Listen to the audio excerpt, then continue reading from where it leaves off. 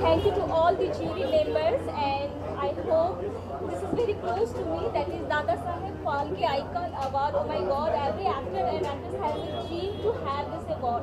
I hope one day I will have. And when I came here, Mr. Anandji has sold me this magazine.